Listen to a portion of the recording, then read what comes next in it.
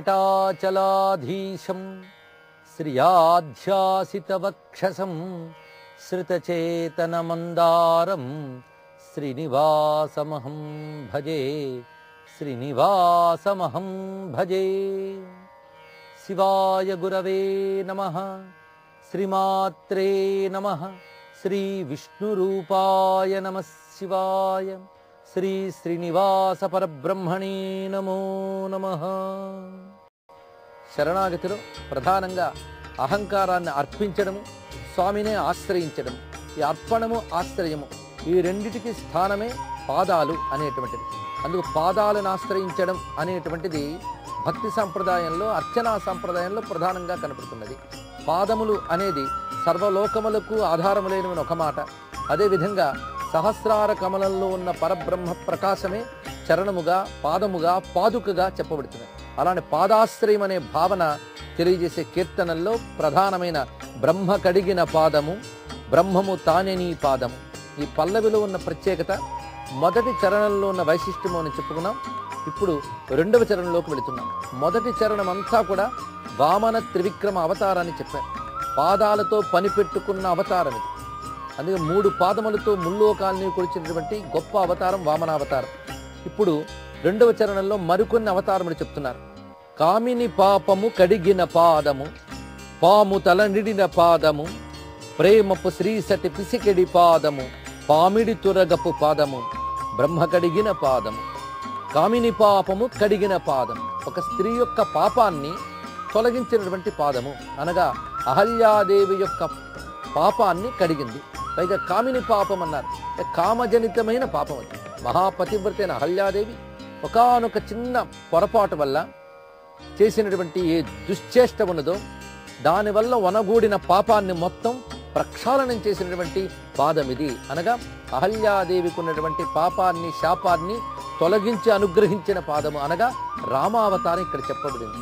మొదటి దాంట్లో వామనావతారం చెప్పినట్లుగా ఇక్కడ ఒక్క పాదముతోనే రామావతార ప్రస్తావన జరిగింది. పాము తలనిడిన పాదము. పాము తలపై పెట్టిన పాదము అన్నారు. ఇది కృష్ణావతారాన్ని చెప్తున్నది. కాళీయ ఫణి ఫణాల మీద నర్తన చేసిన కృష్ణుని యొక్క దివ్య చరణము. ఇది చెప్పేటప్పుడు ఒక ప్రత్యేకత ఉన్నది. స్వామి ఫణిఫణాత్పితం తే పదాంబుజం అని భాగవతంలో గోపికలు చెప్తారు. మా హృదయాలపై నీ పాదాలుంచవయ్యా తృణచరానుగం శ్రీనికేతనం విషమయమైనటువంటి సర్పము యొక్క తలలపై కూడా పెట్టిన పాదాలే మా హృదయంపై ఎందుకు పెట్టవయ్యా అని అడుగుతారు గోపికలు. అందుకు పాము తలపై పెట్టిన పాదములని చెప్పడంలో ఉద్దేశం ఏంటంటే ఎటువంటి భక్తుడినైనా అనుగ్రహించగలవు ఆ పాదములు అనే భావం ఇక్కడ.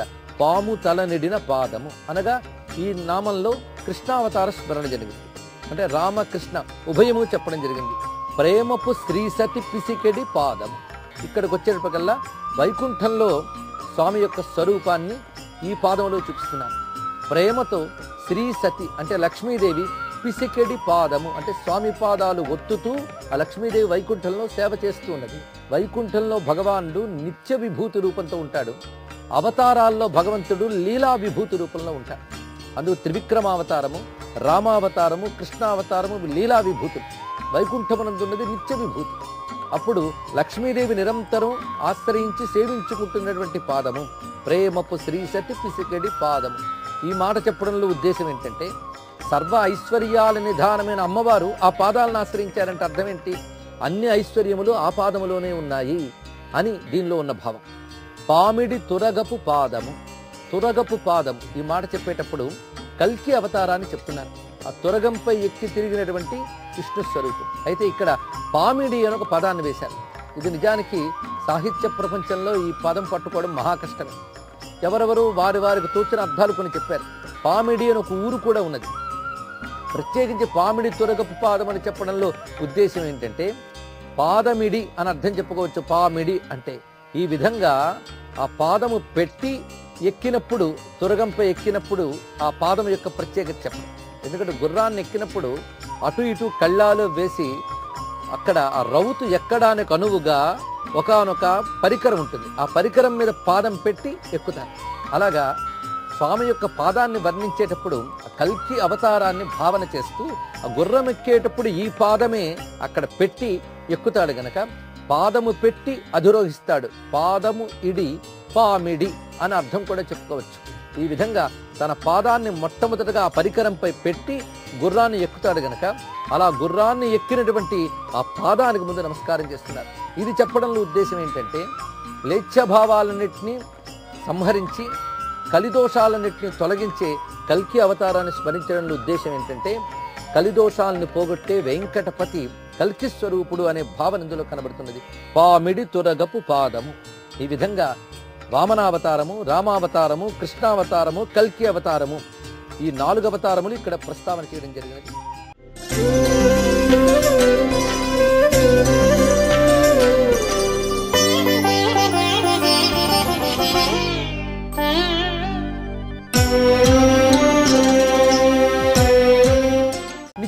విభూతిగా ఎల్లవేళలా లక్ష్మీదేవి సేవించే పాదం అంటూ నిత్య విభూతి అయిన వెంకటేశ్వర స్వరూపాన్ని చూపించారు.